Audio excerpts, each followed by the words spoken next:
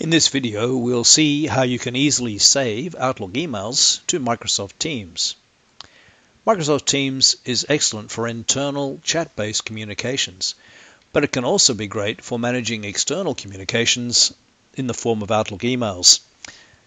The way you can achieve this is by combining Microsoft Teams with MacroView. In this video, we'll be using MacroView DMF, but you can also use MacroView Message which is a subset of MacroView DMF that runs in Microsoft Outlook. Here we are in Microsoft Teams. There's a team here called MacroView Consulting. It's got two channels. If we look in the General channel and its Files tab, we see that there are three project folders. Drilling into the Acme Inc. project folder, we see some files. When we choose the Email Messages view, we see the emails that have been saved for this project including their attributes such as subject, to, from, and so on.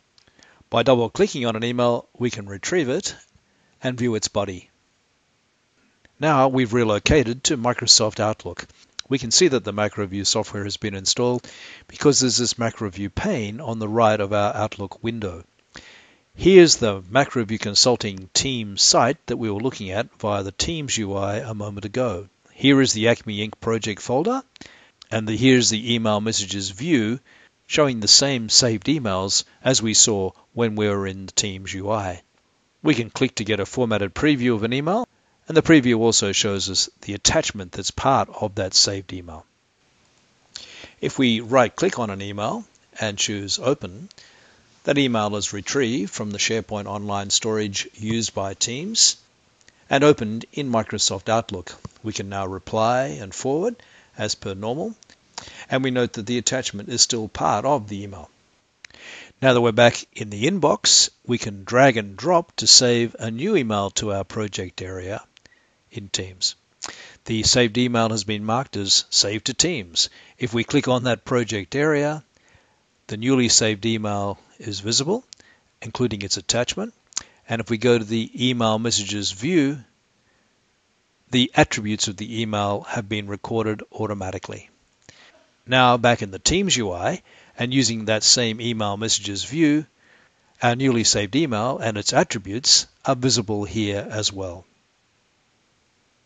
Well, our MacroView Consulting team site is obviously able to do a good job of managing Outlook emails. Let's take a look at how we make that happen. When it creates a new team, Microsoft Teams creates a new site collection in the SharePoint Online part of your Office 365 tenant. That team site contains a documents library and in turn a general folder. To enhance that team site so that it can manage emails properly, you use the MacroView Solution Provisioning tool. This extends that existing Teams document library so that it has additional metadata columns and views for managing emails. Then, when the user saves an email, the MacroView software which has been installed in Outlook will save that email to that Teams area, automatically recording metadata and automatically naming the email to prevent duplicate copies. The MacroView software in Outlook also helps to view existing emails, and the new email messages view that MacroView has provisioned in that Teams document library also helps to view those emails when you're in the Teams UI. MacroView Solution Provisioning is an extension available for MacroView DMF and MacroView Message. As we've seen, it extends an existing document library, including a library in Teams, with the metadata and views that enable effective management of Outlook emails. For more information about MacroView Solution Provisioning, see this article in the MacroView Help Center or check this video in the MacroView channel on YouTube.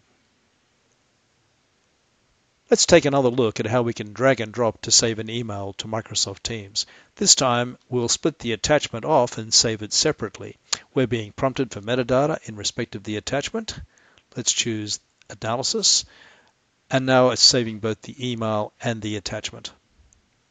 If we click on the area that we dropped in, we can sort by received time in order to group the attachments with the emails to which they belong.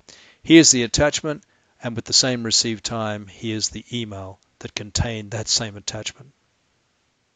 We can also save an email to Microsoft Teams by right-clicking and choosing Save Message to Teams. The MacroView dialog displays so that we can choose our destination location. The email is now saved in Teams. Another way to save is by opening the email and clicking the Save Message button. Again, the MacroView dialog displays so that we can choose our destination location. And that email is now also saved in Teams. MacroView also allows you to save Outlook emails to Teams in bulk. Let's drag all these to the Acme project folder. You can click the hide button and go on working in Outlook whilst that bulk save proceeds in the background. The save is now finished and the Save to Teams markers are now present on all those saved emails. We've seen how MacroView enables you to save Outlook emails to Teams manually. It also allows you to save emails to Teams automatically. Here's an email we're sending to Colin. When we hit the send button and we go to the sent items, we see that our sent email has automatically been saved to Teams. This automatic save was performed by a personal email filing rule. Here is the resulting email that's been stored in that area in Teams. Personal email filing rules can also automate the saving of emails as they are received either into your main inbox or into the inbox in one of your secondary mailboxes. If you have the macro corporate email filing optional module, you'll be able to drag and drop an email and have the filing tag that represents that saved location automatically appended to the subject of the email. If you now forward that email, that filing tag will cause a copy of the sent email to be automatically filed to the same area. Emails received later in the same conversation will also be filed automatically to the same location in Teams. Now, here's a situation that occurs frequently when you're introducing a new Teams-based solution for managing your emails. We've got emails stored in a folder on our C drive. We can drag and drop to upload them into the Better Core project area within Teams. Again, we can continue working while that save proceeds in the background. Now that the emails have been uploaded, we can select them and right click and standardize in order to update their metadata so that it's the same as if they'd been saved to Teams originally using the MacroView software. We can now use the email messages view to see the metadata attributes of those newly uploaded emails. Well, during this video, we've seen a number of ways of saving Outlook emails to Teams. We've done that by dragging and dropping, by right-clicking, by clicking a Save Message button. We've also done it as part of bulk saving multiple emails with that save performed in the background. We've saved emails to Teams automatically using personal email filing rules and by also using corporate email filing tags as the emails were sent and received. And lastly, we've seen how you can save an email that's been loaded to a Windows folder and then standardizing its metadata.